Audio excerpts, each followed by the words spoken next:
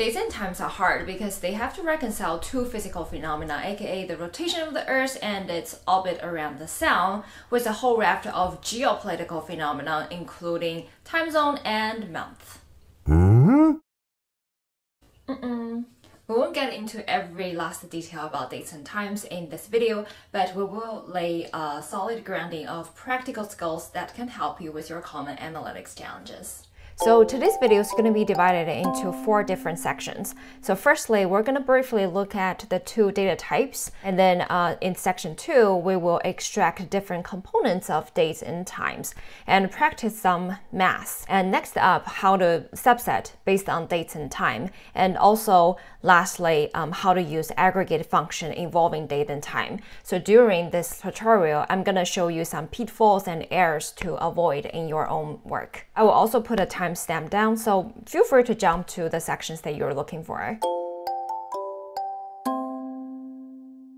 For today's exercise, we're going to be using Microsoft SQL Server, and um, I've also compiled a Notion page comparing different syntax in various SQL platforms, so I will make sure to leave it down below and feel free to grab it. Now, first thing first, let's see what we've got in our data. So this is a table tracking user purchases from our online marketplace. And we have user ID coded as a string variable, and then the corresponding purchase amount, which is a float. And we also have the login date of that user coded as date time, which we will talk in a bit. And the next one, we have shipping date coded as the date data type. And lastly, we have our delivery date, which looks like a date, but really um, is coded as a string. Now we talk about dates and time in our daily life every single day, but um, what the heck are they in the database environment, right? So here shows what a date time looks like in the database. Um, it basically consists of multiple components as shown on the screen. Here at the, at the very last, that's the time zone, and for now we can safely ignore it. If we take out the time part, then that will give us a date and we can use um, the function cast in SQL. In a nutshell, the cast function converts a value from one data type to another. And the syntax is pretty straightforward. We just uh, specify the column name and then the corresponding data type we'd like to convert to. So for example, right now here, um, we're converting the login date time to a corresponding date format. And similarly, we can also cast a date to a date time if we want to cast the shipping date to its corresponding shipping date time. Now, one caveat here is that since we don't have hours or minutes specified, then uh, the default value is zero zero. To be honest, it's it really happens that we need to convert the date to time because it's dangerous to assume that all these hours and minutes are zeros.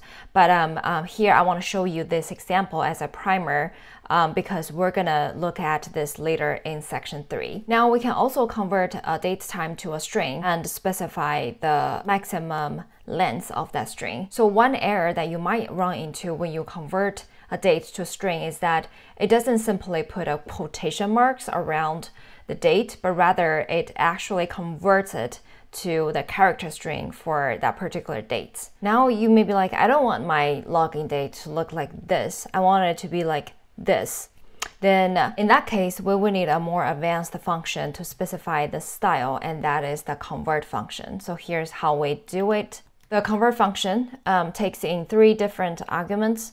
The first one is our desired data type, um, and then the second one is our input value, which is the login date. And the third one is the style integer. In this example, we specify 110. And if we look up style number in here, we can see 110 follows the USA style. The month comes before date, which is followed by four digit year. Now, as we can see that the date has been reformatted to this format. And then again, we can also convert it to a different style like this 101 style. In this lookup table, we can see that's also a, a very common uh, style in the United States. And let's see if it's gonna give us the format we want. Um, and it did. Now, if you could pause here and think about how can we convert this delivery date string to a date and we would like it to follow the UK style, which is 103. The format is two digit day, forward slash two digit month forward slash and four digit year. We can just go ahead and um, specify the 103 like this. Because our delivery date is a string variable, so we want to convert it to a date. And then the style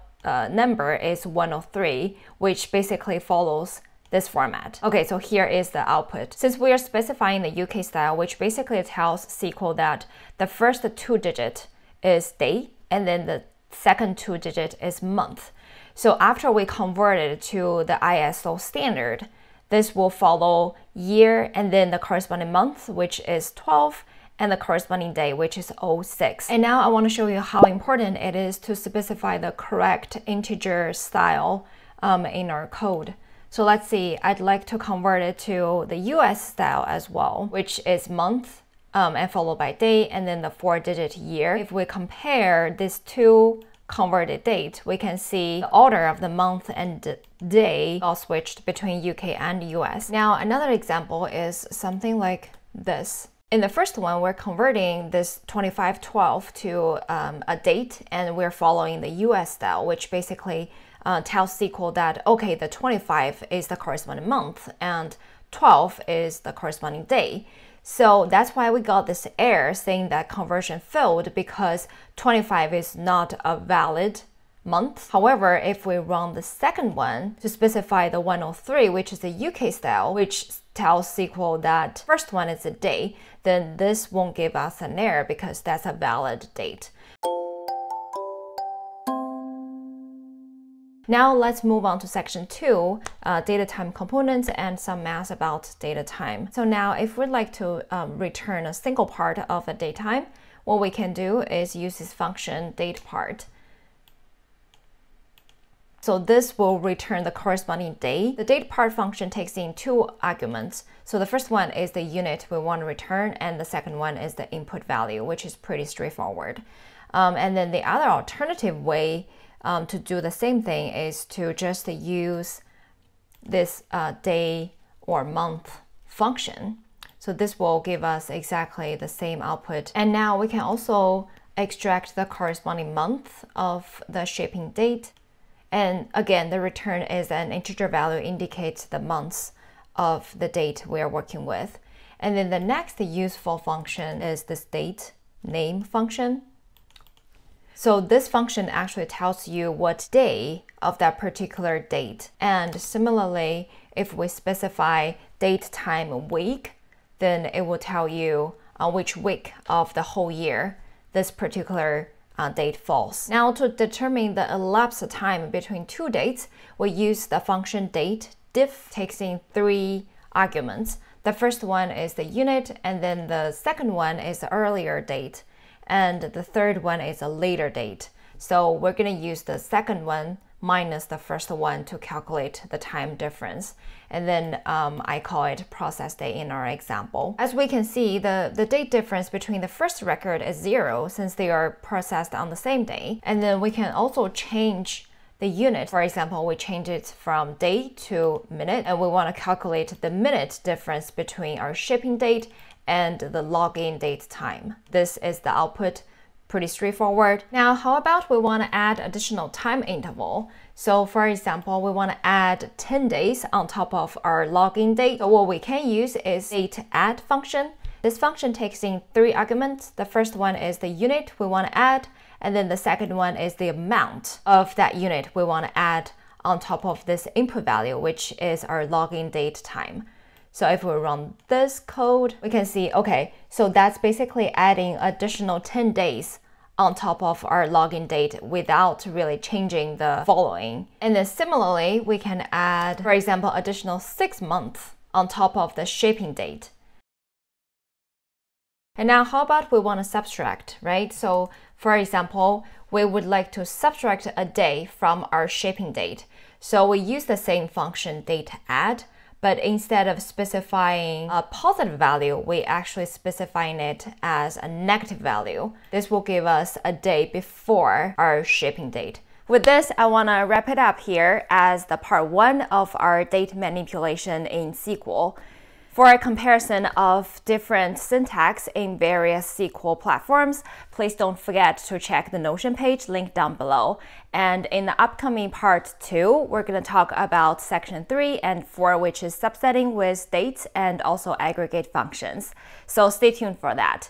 Lastly, don't forget to subscribe to my channel and turn on the notification bell so that you won't miss my videos in the future. And see you guys pretty soon in my next video. Bye guys!